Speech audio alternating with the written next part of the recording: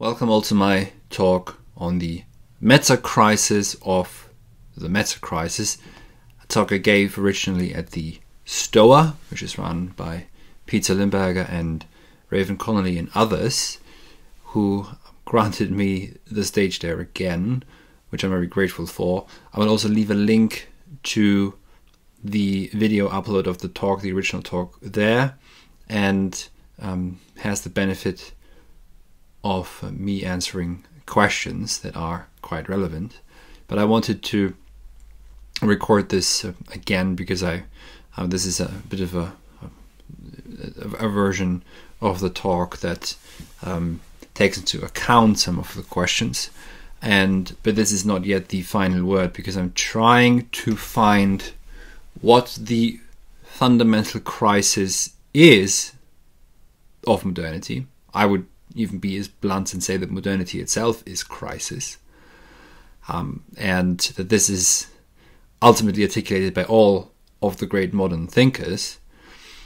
And yes, so the meta crisis of the meta crisis started uh, as a bit of a joke, in fact, um, because I saw that the discourse around the meta crisis would definitely, I thought, lead to a meta crisis of its own, and it would run into unresolvable contradictions, which it tried to get away from.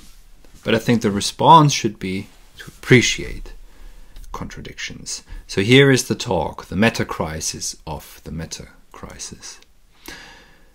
Perhaps it is useful to begin with the meaning and origin of the word crisis and what its concept signifies for us today. If we begin to take seriously that apparently something announces itself in the ubiquity of crisis. Perhaps it would even be fair to claim that crisis and its specific dimension is today that which addresses us most urgently. And assuming this is indeed the case, the question then becomes whence this utmost urgent crisis? The word crisis is, of course, of ancient Greek origin. The Greek krisis means separation, dichotomy, conflict, strife, but also selection and decision. Hippocrates speaks of crisis also as pertaining to disease. The word crisis then here means the moment when the fate of the patient is decided, either for recovery or for death. In tragedy, crisis is the singular incision when the hero's destiny becomes apparent. According to the Brothers Grimm Dictionary, which is a dictionary of the German language, Goethe writes somewhere the following in German: Alle Übergänge sind Krisen und ist eine Krise nicht eine Krankheit. In English, all transitions are crisis, and is a crisis not a disease. We could then translate, or maybe cross over, as I like to think, from the shore of the Greeks to ours. Ferry across the river of the eons the word crisis as follows by bringing all its meanings together. And not just have one meaning, but in one sentence perhaps its manifoldness, which is the following the within itself turning of self conflicting strife, things to which, however, selection and transition transpire as necessary, such that the path entered upon becomes irreversibly one's own. And here we are in the tragic as well and in the medical. This entering upon a path, however, is the instance in which crisis disappears. A crisis appears, it seems, when a transition is paving its way for itself and another grounding needs to be prepared. This seems to be coming from behind, barely seen, rather than looming on the horizon. It is in the paving for itself the path that indicates this and that also requires, once the crisis is brought into focus, a decision. The word decision, of course, pleases the modern ear. For making decisions, as the English vernacular says, indicates that something can indeed be done. Control can be executed, the crisis can and hands should be managed to minimize damage, insert suffering, and maximize utility and efficiency. And still, despite the will to make decisions and to control, there are crisis over crisis. There is the climate crisis, the corona crisis, the financial, economic, social, political, institutional, socio-economic, intersubjective crisis. There is a housing crisis, a homelessness crisis, a public health crisis, a mental health crisis, a currency crisis, the euro crisis, a banking crisis, crisis upon crisis, diseases upon diseases with Goethe. Yet, is anything ever truly decided?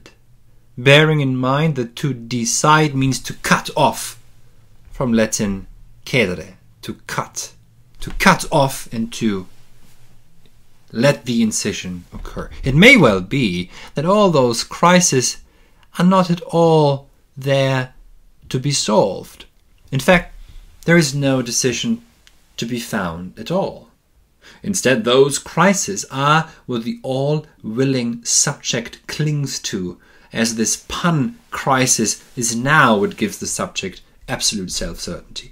As long as everything is in utter crisis, I can and must and will manage the pan crisis. I, says the modern subject, I can even engage in abstract meta games of crisis that are entirely detached from anything and purely in the realm of constructivism, hence entirely without the suffering experience of the painful cut which comes necessarily with any disease and any transition.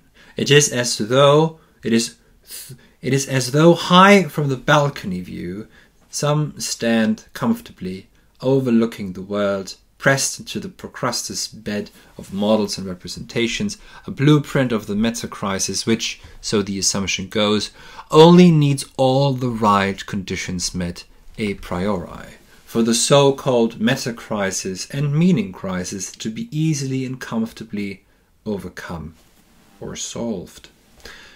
Just take the ingredients of some rationality and causality, don't forget the spiritual though. And here is your entertaining, epidermally interesting, neatly defined set of solutions abstractly applicable to the meta crisis. The historicized sterility with which thinking is approached indicates that something has broken off and away, that philosophy is no longer in charge of what it has always been in charge of, the grounding and founding of world access. Alas, what is seemingly becoming ever clearer is that modernity itself is crisis. Such is the grand claim of this humble essay. The attempts to solve problems in the cold and distanced way proposed, to solve even thinking itself once and for all, indicate a misunderstanding of the task and mandate of thinking. Thinking does not require solving or correct solutions. Thinking needs to be thought. How is one to make sense of this pesky continental way of putting things? How is one to make sense of the grandiose remark that all modernity is crisis? The epoch, which gives itself the name modernity, which is to say, of the present moment, begins with Descartes. This is not intended to give a precise date or year, but to indicate, in fact, a transition, perhaps an incision, which we now call Descartes. Hegel says on the meaning of Descartes the following in his philosophy, in his history of philosophy. Quote from Hegel It is only now with Descartes that we properly arrive at the philosophy of the New World. After a long time erring across the sea, Hegel continues, it is with Descartes that philosophy finally begins to see land again. For it was it, it is with Descartes, says Hegel, that philosophy begins to appreciate the importance of consciousness, Bewusstsein for truth. Descartes' doubts and Kant's contributions are what have given birth to the modern world more than anything. The oft cited so called Cartesian paradigm has become the unquestioned, all popular boogeyman, which can be pulled out. The magician said at any moment a conversation requires a quick and easy deus ex machina to find someone or something to blame. Nothing of what is being said here intends to blame anyone, however. I don't intend to blame anyone, no.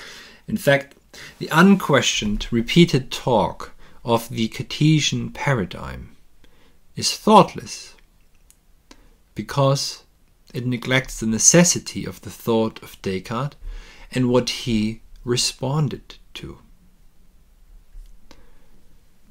Why is it that the soul becomes the res cogitans, which in turn becomes the ground for philosophy. Why is it that casting doubt methodolo methodologically, that is, the negation of all certainty, in order to arrive at absolute certainty, is necessary? Why is it that mental perception begins to take the upper hand? How is it that the human being becomes the subject, the ground of objectivity, circling around and within itself, but at the same time establishing not only self certainty, but also certainty over the objective world? And this is now the most important question, I think. Why had it become necessary to establish this certainty? over the objective world?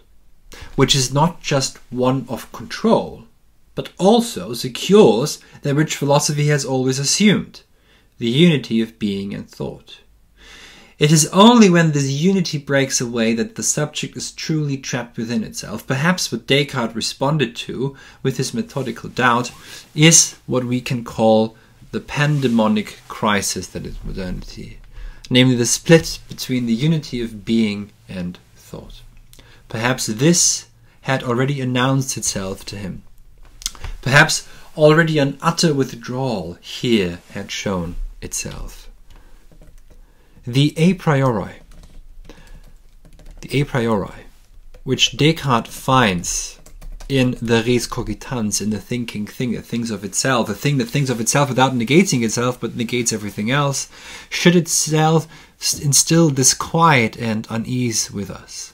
Still, Descartes is an exercise of freedom, for his thinking attempts to begin anew, casts doubt on everything, and takes a distinct stance in the midst of beings. There's a tremendous philosophical autonomy in Descartes, thanks to its negativity. Thanks to the negativity of his thinking. Yet it wants this skeptical negativity, for it neglects the negativity of the subject, sets in motion the self positing of the subject. This freedom, though, should be taken seriously and also should be honored, while bearing in mind that there here also the isolation of the human being qua subject sets in, insofar as everything is doubted and negated, but not the self. The self is not doubted and negated. The self is transformed into a thinking thing, a substance of, thought, of sorts.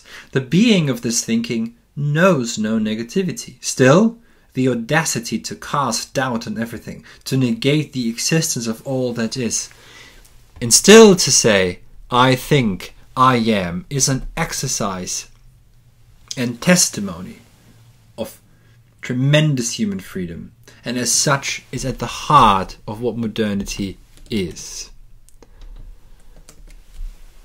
At the same time, the self referential ego as res cogitans, becomes the grounded ground, the foundation in which the human being finds a stance. This foundation, as we can see now, neglects the world and depicts a reification of the self, a self which is now isolated.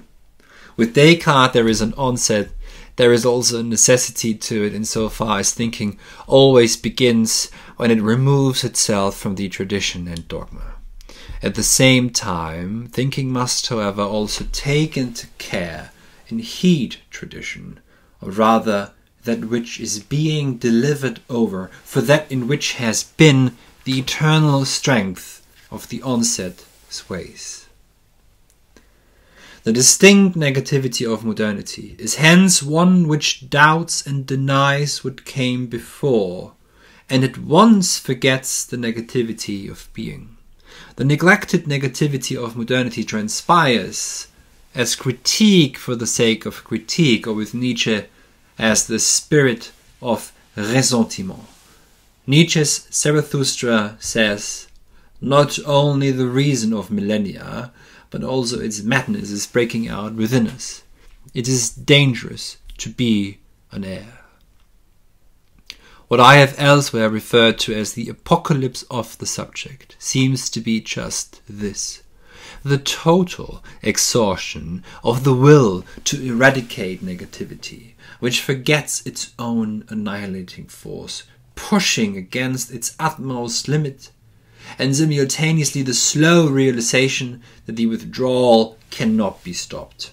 All the while dancing along liminal digital virtual edges established by the plethora of historicized files of meaning particles to which the late modern subject clings, if only for a split second, for the subject is trying to arrive back at the certainty of the unity between being and thought. And this unity, however, finally collapsed with Hume's radical skepticism. Hume awakens Kant from his dogmatic slumbers, not least because of the former's own fundamental dogmatism. The dogmatism of which Kant speaks is the presupposed unity of being and thought, a presupposition which now needs to be cashed in. The critical project of Kant is to bring to the fore this foundational presupposition which thought had dogmatically assumed for itself.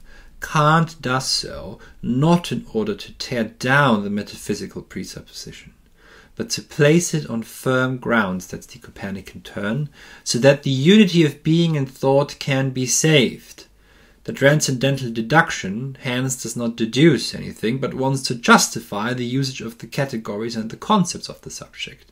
Kant is an Aufklärer, an Enlightenment philosopher precisely because he clarifies, clears up, discloses this fundamental presupposition and at once sees the perfect ethical duty to himself and humanity to establish again a possibility for the human being to access the world.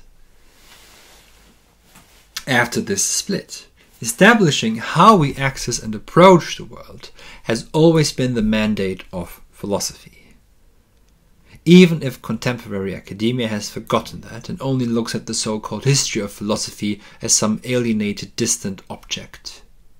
Even though Kant clarifies for us that thinking must necessarily make this presupposition, which is an a priori synthetic judgment for Kant, in order to get back out into the world, that is, in order to establish the unity of being and thought again, where thought, however, is now understood as a representation, eine Vorstellung, the objectivity of objects is now predicated on the subjectivity of the subject, that is, on its categories. No object without subject, no subject without object. With Kant, what we have access to then are representations of appearances, but not things as they are in themselves. Things as they are in themselves are pushed into the nameless realm, the noumenon, the noumenal, that which has no name. That's what noumenal means. The uh, it was Salomon uh, Maimon who's uh, to be thanked here for bringing to the fore that we can, through understanding the appearances, understand what things are in themselves. For him, the idea is two sided. The idea of uh, the regulative idea um, of of uh, of cognition is two sided, um, and but Maimon ends up in a skeptical position too because he neglects negativity, and when you neglect negativity, you end up in a skeptical position, which which doubts the existence of the external world. Um, but it was to Maimon, to which Fichte and then Schelling and ultimately Hegel uh, responded. And now, so, but with Kant, again, what we have access to are just appearances, really, representations of appearances. Again, Kant still needs to establish the unity of being and thought once more. This is what he's doing here. Or else the specter of skepticism and nihilism which comes through with Hume and others would begin to take hold, and the human being would find no stance and no access to the world. Subjectivism would reign. At the same time, Kant, in his attempt to secure this access to the world and the unity of being and thought, at the same time, Kant establishes the neatly the nearly, sorry, fictitious, fictitious, phenomenal world. That is to say, now with Kant, all we seem to have access to is representations of appearances, ultimately an illusion. The crisis then, and, and, and, and objects here are constructed without contradiction. That's exactly what the sciences do and this is exactly also what I, what I see happening in the meta in the discourses around the meta crisis that it's, it's trying to solve the problems a priori abstractly in terms of a formal logic so it tries to construct a world without contradiction and hence runs into all kinds of contradictions now. The crisis then that the first critique by Kant brings to the fore which is this fundamental crisis is on is on the multiple level on multiple levels, it, it brings this to the fore, and that's the genuine meta crisis of modernity, namely the sudden disappearance or collapse of the unity of being and thought about which modernity enlightens us in the first place. And through this enlightenment, the various attempts to establish some unity again, almost to heal the dichotomy between human being and the world, the establishment of an illusory field of perception is the result with Kant. Even though he tries to get back into this unity, he leaves us with an illusion. Fichte, Schelling, Hegel, Maimon before, um, Husserl, certainly Paul Natorp, and certainly Heidegger are all names that speak of attempts to struggle against subjectivism or to overcome it. To say this again, thanks to Kant and Hume, we see the dogmatism of traditional metaphysics. Yet at once, what is, thanks to this disclosure, this Aufklärung, this enlightening, this enlightenment, at once, at the same time, what's torn open here? A terrible wound is inflicted, one could say, so what's being torn open here is also the bursting away of the human from an access to the genuine world, to things as they are in themselves. We are cut off from being. It is crucial to point out that it is with Kant and only with his transcendental logic that the natural sciences find justification for their constructions of objects without inherent contradictions. This is the earthquake we name Kant. The attempt, though, must not be to solve abstractly and a priori this profound crisis, i.e., the split between of, of being and thought, but to think it through this crisis to its end in order to let its own overturning occur. Kant's project is not an arbitrary one. I quote here from the first two paragraphs of the preface of the A edition of the first critique. Human reason has the peculiar fate in one species of its cognitions, this is all Kant, that it is burdened with questions which it cannot dismiss burdened with questions which it cannot dismiss, since they are given to it as problems by the nature of reason itself, but which it also cannot answer, since they transcend every capacity of human reason. Reason falls into this perplexity through no fault of its own. It's almost like reading Heidegger. Human beings are addressed by something and they have to correspond, sie müssen entsprechen. Hm? Kant continues, it begins from principles whose use is unavoidable in the course of experience and at the same time, because without the unity of being and thought, you end up like Hume. I don't know if the sun will shine tomorrow, uh, rise tomorrow. I don't know. It's very comfortable to say this, perhaps, but uh, it, it's not just ironic to say this. It's it's it's there is a split that it sounds so benign, um, but any experience is predicated on the assumption that there must be some unity between being and thought. All the sciences are predicated on this. Now, again, reason falls into this perplexity through no fault of its own. It begins from principles whose use is unavoidable in the course of experience and at the same time sufficiently warranted by it. With these principles, it rises, as its, as its nature also requires, ever higher to more remote conditions. But since it becomes aware, in this way, that its business must always remain incomplete because the questions never cease, reason sees itself necessitated to take refuge in principles that overstep all possible use and experience, and yet seem so unsuspicious that even ordinary common sense agrees with them.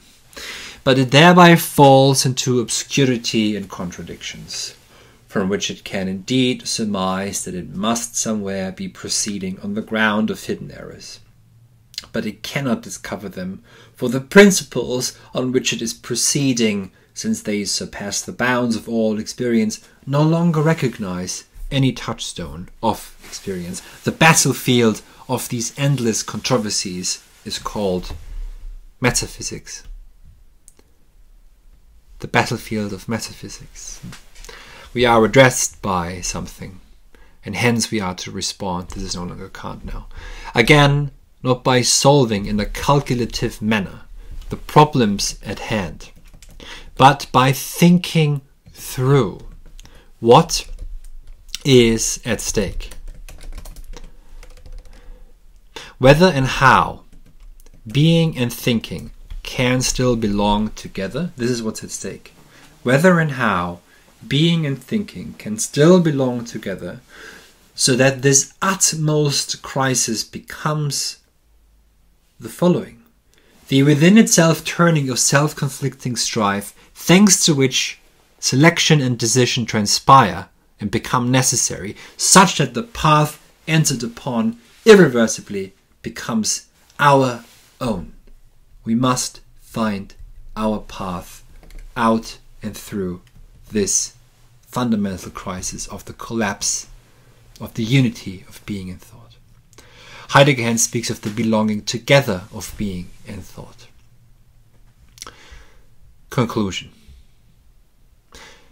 The meta crisis of the meta crisis, the discourse surrounding it, could then be summarized as follows. The sudden insight into the groundlessness of the attempts to solve abstractly and a priori all presently available concrete problems, constructing a world without contradictions, the dead formal logic of the various problem solving attempts. Attempt to construct attempts to construct the perfect world without contradiction, which is an, which inevitably will lead to inherent contradictions, to antinomies of reason, as Kant himself admits. All the while failing to understand that thinking does not require solutions, but that the mandate of thinking now is to bring together again to reconcile the fissure between being and thinking, humans and earth, gods and mortals, from the deep shared memory of the all unifying one, Hen Panta Einai. Thank you very much.